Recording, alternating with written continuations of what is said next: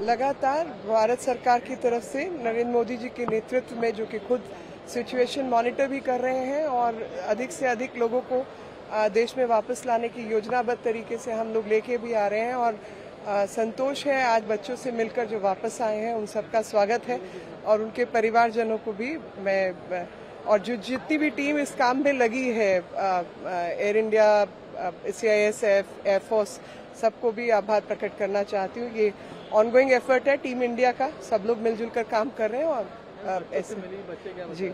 बच्चे बहुत संतोष उनके एक राहत की सांस उन्होंने ली है और धन्यवाद कह रहे थे। प्रधानमंत्री जी को खास तौर पे धन्यवाद कह रहे थे।